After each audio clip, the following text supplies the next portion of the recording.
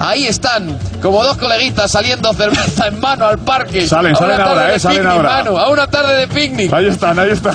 Salen. Sí, ahí. Increíble, la noche fresquita. Y ahí salen en pantalón corto. Carles Puyol, una cervecita en la mano. Ses. Fábregas, otra cervecita en la mano. Y ahí se sientan en el banquillo. Ahí están, sentados en el banquillo. Estarán hablando ahora y, bueno, ¿y tú qué haces mañana?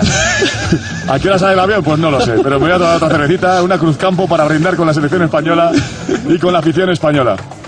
Y estáis, ese- están intentando los que quedaban por ahí hacerse fotos con ellos, pero yo creo que hay que pedirles que, que- que les dejen tranquilos, porque este momento para ellos debe ser tan especial. Hombre, es un momento ¿Eh? mágico. Busca un momento para tomar una cerveza tranquilo y, y elige el, el banquillo, ¿no? Sí, te- Bueno, estos son los peajes, algunos de estos compañeros están por ahí, los peajes de ser campeones del mundo, mano, de ser nada menos que campeones del mundo. Nada más y nada menos. Ahí estaban, seguro que salían pensando en tener un poquito de intimidad y han dicho, ahí va, si esto todavía no está vacío.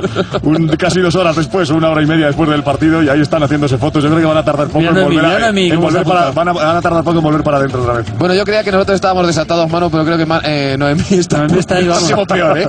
Está dando más cante que todavía.